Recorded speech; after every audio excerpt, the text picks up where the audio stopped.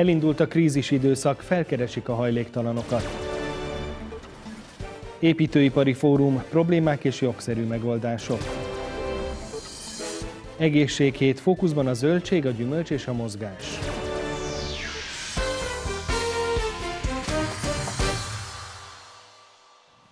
Jó estét kívánok! Az aktuálist látják november 13-án szerdán. Már is jönnek a részletek.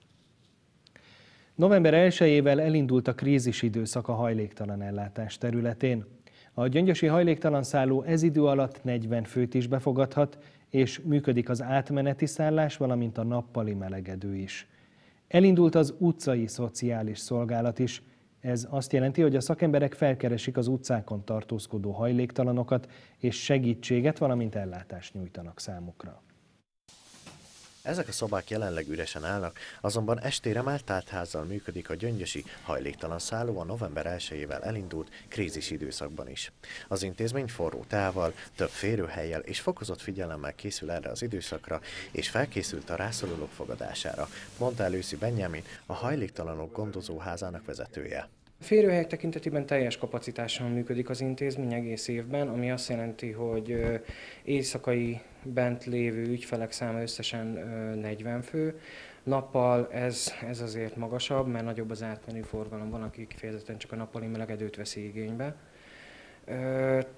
Bővítés ugye tavaly évben került sor az intézmény bővítésére, illetve tavaly előtt, akkor az időszakos férőhely lett kibővítve 6 főről 10 főre, ez továbbra is működőképes, és továbbra is teltházzal működik az intézmény. Továbbra is működik az utcai szociális szolgálat is, amely során a szakemberek felkeresik az utcákon tartózkodó hajléktalan személyeket, és segítséget, valamint ellátást nyújtanak számukra. Hétköznapokon reggel 8-tól egészen este 10-ig jelzésekre tudunk reagálni, illetve este 6-tól pedig jelzés nélkül is járőr szolgálatokat végzünk a város, illetve a, a kistérségi ellátási területén, ami megegyezik a járás területével, közigazgatási területével. Az intézmény vezetője felhívja a lakosság figyelmét arra, hogyha bárki veszélyhelyzetben lévő személlyel találkozik, akkor azonnal hívja az utcai szolgálatot vagy az intézményt, azonban a legjobb megoldás ilyenkor a 112-es segélyhívó számtárcsázása.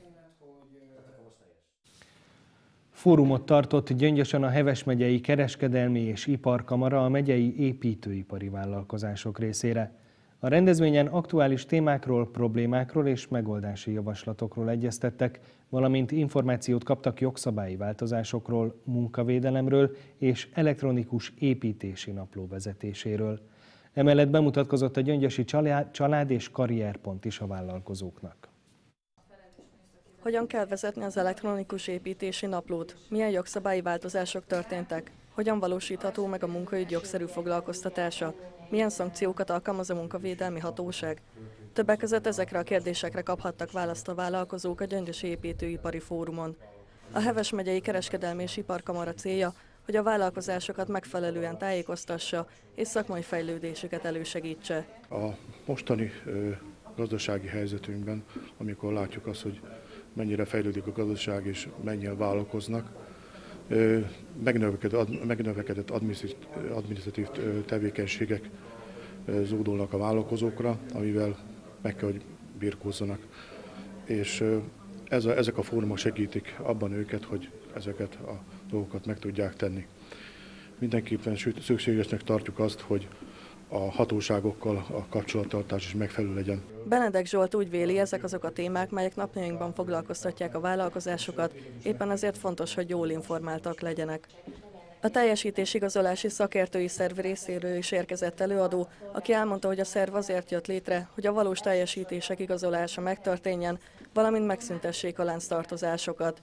Az elmúlt öt évben több mint 1300 ügyet bonyolítottak le alvállalkozói vagy megrendelői ki miatt, a kezdetekkor 400 milliárd forint volt a kifizetetlen számlák összege.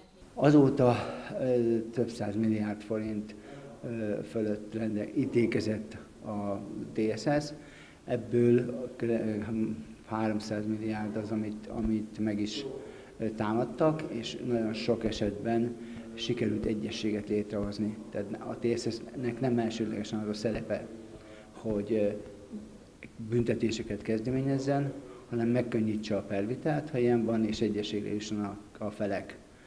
A tapasztalatok azok, hogy 75%-ban az eljárásokban megegyezés születik a, a, a kérelmező és a kérelmezett között az eljárás lezárt előtt. A szervezők biztatják a vállalkozásokat, hogy a jövőben is minél többen vegyenek részt ezeken a fórumokon, hiszen mindig aktuális témákkal és tanácsadással várják őket. Megalakult a Heves megyei közgyűlés. Létrejöttek a bizottságok és megválasztották az elnököt is. Juhász Attila Simon azt mondja, változik ugyan némiképp a megyei közgyűlések feladata, de a térség és településfejlesztési támogatás a legfontosabb célok között marad. Sikeres polgármesterből közgyűlési elnök. Juhász Attila Simon azt vallja, munkájában a tisztesség és a tisztelet a két legfontosabb hívószó.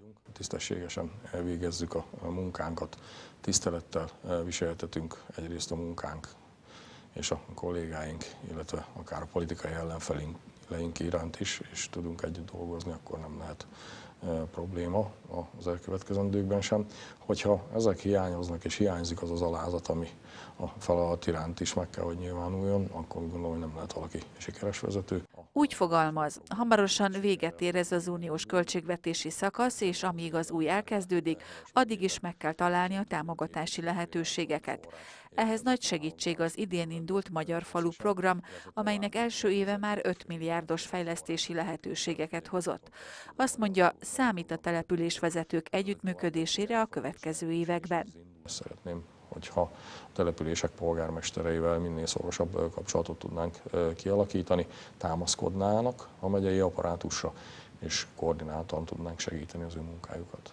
A közgyűlés összetétele kapcsán elmondta, egyelőre nem kaptak külsős bizottsági helyeket ellenzéki képviselők, ennek okairól is beszélt. Tárgyalási alapnak tekintettem volna azt a későbbiekben, hogyha gyöngyös vagy akár Eger vonatkozásában kaphat a Fidesz-KDNP külsős bizottsági helyeket, ezek elmaradtak, ezt nagyon sajnálom, így a Heves megyei közgyűlésben sem biztosítunk egyenlőre külsős bizottsági helyeket. Abban bízik, a helyzet még változhat mind városi, mind a megyei közgyűlés tekintetében. Azt hangsúlyozta, a Heves megyeiekért fog dolgozni, hiszen az ellenzéki vezetésű Egerben vagy Gyöngyösön is Heves megyei polgárok élnek. Reméli, hogy a városok vezetésével is megtalálják a közös hangot, és konszenzus alakul ki a térség fejlődése érdekében. Háromnapos nyugdíjas találkozót szervezett az Életet az Éveknek Országos Nyugdíjas Szövetség Parátfürdőn. A szervezet idén ünnepli fennállásának 30. évfordulóját. Zsúfolásig megtelt az Erzsébet Park Hotel konferenciaterme. A megnyitó ünnepségen tegnap délután Parátfürdőn. Az Életet az éveknek nyugdíjas szövetség minden évben megrendezi háromnapos találkozóját abból a célból, hogy eltöltsenek egy pár napot jó hangulatban, kulturális programokban és a jövő elképzeléseit építve. A szervezet elnöke Hegyesiné Orsós Éva elmondta, hogy minden évben egyre többen vesznek részt a programokon, és az sem véletlen, hogy most Parádfürdőn tartják a találkozót. Az Életet az Éveknek Országos Szövetség ebben az évben ünnepli fennállásának a 30. évfordulóját. Ezt a szervezetet 139 klub hozta létre, és az egyik klub ebből a 139-ből a Parádi Nyugdíjas Klub. Tehát mi ide nagyon szívesen jöttünk. Mudricki József a település polgármestere is üdvözölte a résztvevőket, aki köszöntőjén túl a település értékeit és történetét is elmondta a résztvevőknek, hiszen sokan most először járnak a Mátra ezen részén. A település vezető elmondta azt is, hogy örömmel tölti el, hogy ezen a jeles jubileum alkalmából épp a községre esett az Országos Szövetség választása. Nagyon örültünk a felkérésnek, a lehetőségnek, hogy idejöttek hozzánk az életet az éveknek klub tagjai. Parádfürdő erről szól, a rekreációról, a pihenésről, a gyógyulásról, és hát tudjuk jól, az éle, a munkában eltöltött évek után erre szükség van. Az életet az éveknek országos szervezete már jövő évet is tervezi. Terveik szerint 2020-ban Balatonon töltik majd el aktívan ezt a három napot. Egészséghetet tartanak a Kálvária Parti Sport és Általános Iskolában. A rendezvény keretein belül számos programmal készültek a diákok számára. A cél az, hogy a gyermekek megtanulják, mik az egészséges ételek és miket kell kerülniük. Ezért salátát, gyümölcs és zöldségszobrokat készítettek, de a héten még sport délutánt is tartanak, valamint különböző vetélkedőkön vesznek részt. Ananász, bagoly, uborkavonat és brokkoli kutya. Meg annyi zöldség és gyümölcs figura az iskola folyosóján, ugyanis ismét egészséghetet tartanak az intézményben, melynek keretében zöldségszobrászatot is tartottak a gyermekeknek. A pedagógusok fontosnak tartják, hogy már az első osztályban felhívják a gyerekek figyelmét az egészséges táplálkozás és rendszeres mozgás fontosságára, ezért számos ilyen foglalkozással készültek a hétre. Egy napot meghagytunk arra, hogy a Mátra Parti vezetője egy ilyen kóstolással kedveskedjen a gyerekeknek, de ezt ezen a héten nem, két hét múlva tudjuk csak megvalósítani. A pályázat, tehát a Városi Önkormányzat egészségügyi, szociális és lakásügyi bizottsága 100 ezer forinttal támogatja ezeket a rendezvényeinket. A gyerekek tudják, hogy fontos odafigyelni a táplálkozásra, és igyekeznek minden nap legalább egy-egy zöldséget és gyümölcsöt enni. Otthon nekünk nagyon sok gyümölcs van, szoktam enni sokszor almát, meg olyan salátát zöldségeket. Én azt szoktam ennek érdekében tenni, hogy mindig 10 óraira legalább kettő almát eszek, és a húgom és a nővérem is. Kamilla is odafigyel a táplálkozásra, és emellett a testmozgás sem hanyagolja el. Járok balettra, meg kézibre, meg még járok talajtolnára, és ma is fogok rá menni. A felső tagozatosok is egész héten foglalkoznak egészséggel kapcsolatos témákkal, így előadásokon, aerobikon és különböző vetelkedőkön vesznek részt. Ott jártunk, akkor éppen salátát készítettek a gyerekek. Lesz ilyen koktél, lesz meg ilyen, hogy is mondják? Smoothie. Smoothie. Most éppen banán csinálok smoothiehoz. Szerinted miért fontos, hogy egészségesen táplálkozzatok? Azért, hogy szép legyen a testünk és lehízzunk el. Jó, kell egy kis cukor, de az nem, nem annyira sok. A pedagógusok remélik, hogy a rendezvény eléri a célját, és a gyerekek az egészségük érdekében jobban odafigyelnek majd a táplálkozásukra és a rendszeres mozgásra.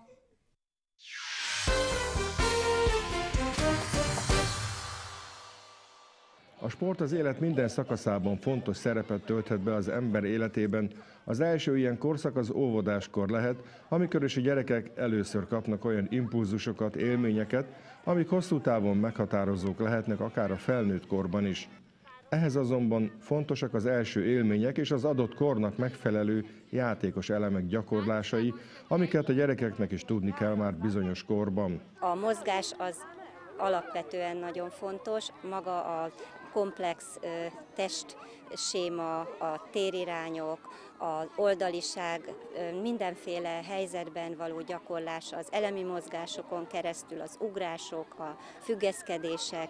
Nagyon fontos, hogy a gyerekek önmaguk határait megérezzék. A napi mozgásunk az tulajdonképpen folyamatos, tehát onnantól kezdve, hogy bejönnek a gyerekek a csoportszobába, ott már lehetőségük van bizonyos fejlesztő játékokon ugrabugrálni, húzogatni, húzóckodni, tehát ez mindez azért van, hogy akinek igénye és szüksége van rá, az még kisebb csoportban tudjon tevékenykedni, és hogyha megjönnek a többiek, akkor a nagyobb mozgások, az udvari fejlesztőjátékok. Az óvodásokat még elsősorban az ösztön hajtja, és szinte minden mozgásra járó feladatban szívesen részt vesznek. Szerintem a mozgás iránti vágyból a futás, illetve az ugrás az, amit nagyon szeretnek.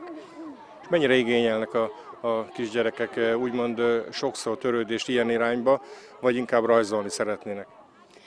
Hát úgy gondolom, hogy a mozgást minden nap nagyon szívesen csinálják, akár bent és kint is jó időben, de emellett ugyanúgy szívesen végeznek ábrázoló tevékenység itt is a csoportban. A kicsiknek az év egyik legizgalmasabb napja a Városi Óvodás Sportnap. Idén ezt a műfüves sportpályán rendezték, ahol minden feltétel adott volt ahhoz, hogy a szabadban, a jó levegőn fejleszték képességeiket a különböző állomáshelyeken.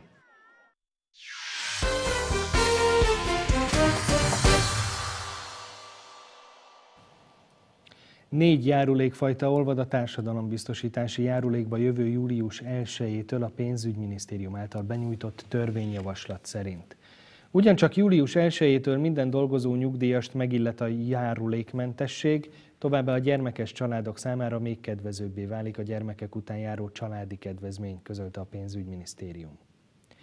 Hiába javult az elmúlt két évben a vállalkozások fizetési morálja, még mindig komoly probléma a cégek közötti tartozás írja közleményében a Magyar Országos Közjegyzői Kamara. Évente több mint 60 ezer esetben indítanak cégek eljárást egy másik vállalkozással szemben, késedelmes fizetés vagy nem teljesítés miatt. Ezek nagy része megelőzhető lenne, ha a vállalkozások közjegyzői okiratban szerződnének egymás között. Elsősorban továbbra is a körbetartozás miatt késnek a cégek a kifizetésnél, de sok esetben a csőd vagy a beszállítói hitelezés okoz problémát. Most jöjjenek a nap legfontosabb hírei még egyszer röviden.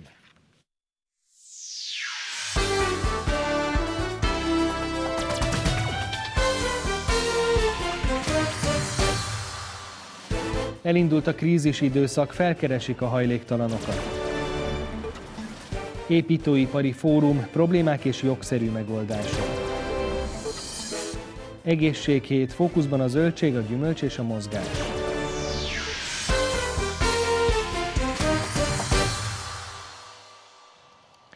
Köszönöm figyelmüket, ez volt az aktuális szerdán, holnap is várom majd Önöket a szokott időpontban, addig híreinket megtalálják a www.gyöngyöstv.hu oldalon is. Minden jót a viszontlátásra!